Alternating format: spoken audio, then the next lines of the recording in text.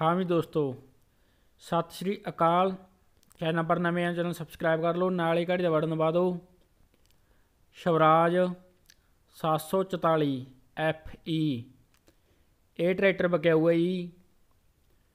Tractor ਨੂੰ condition ਵਿਖਾ ਦਿੰਨੇ ਆ।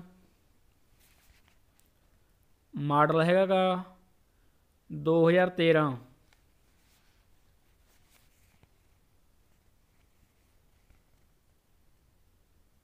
ਪੰਜਾਬ ਨੰਬਰ ਹੈ।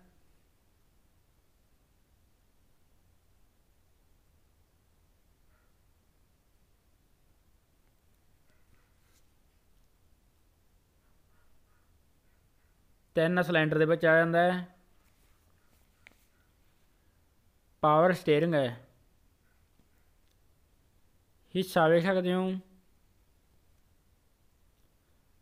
ਮੂਰਲੇ ਟਾਇਰ ਨੇ ਜਿਹੜੇ ਗੁੜੀਅਰ ਦੇ ਵਿੱਚ ਨੇ। 7 ਪਾਉਂਡ 50 16 ਦੇ।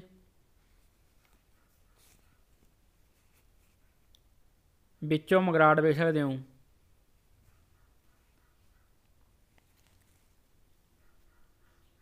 ਪਿਛਲੇ ਟਾਇਰ ਨੇ ਜਿਹੜੇ ਉਹ ਵੀ ਗੁੜੀਅਰ ਦੇ ਵਿੱਚ ਨੇ 14 ਨਾਲ 28 ਦੇ।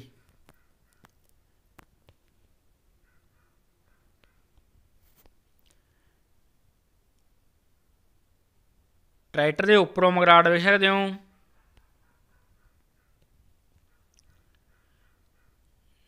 ਦੂਜਾ ਮਗਰਾਟ ਵੇਖ ਸਕਦੇ ਹੋ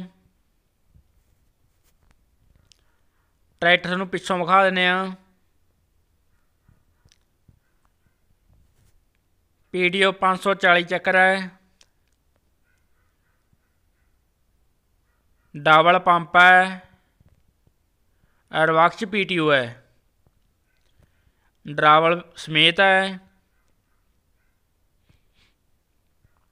ਛਾਤਰੀ ਲੱਗੀ ਵੀ ਹੈ। ਟਰੈਕਟਰ ਨੂੰ ਦੂਜੀ ਸਾਈਡ ਵਿਖਾ ਦਿੰਦੇ ਆ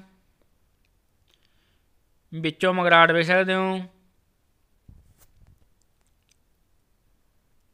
Tyre, rim.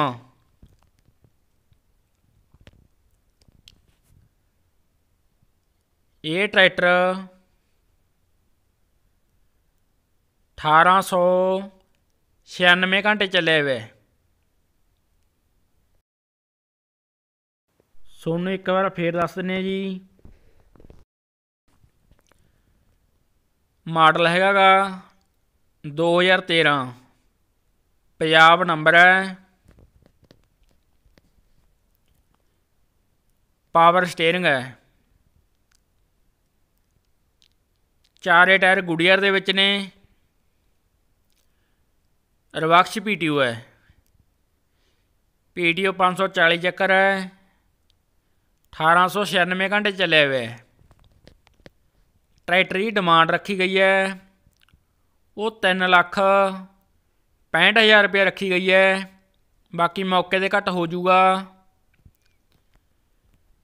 ਇਹ ਟਰੈਕਟਰ ਪਿੰਡ ਹੰਡਿਆਇਆ ਜ਼ਿਲ੍ਹਾ ਬਰਨਾਲਾ, ਪੰਜਾਬ ਏਰੀਆ ਵਿੱਚ ਖੜਾ ਹੈਗਾ। ਧੰਨਵਾਦ ਜੀ, ਬਹੁਤ ਜਲਦੀ ਮਿਲਦੇ ਇੱਕ ਨਵੀਂ ਵੀਡੀਓ ਕੇ ਸਾਥ।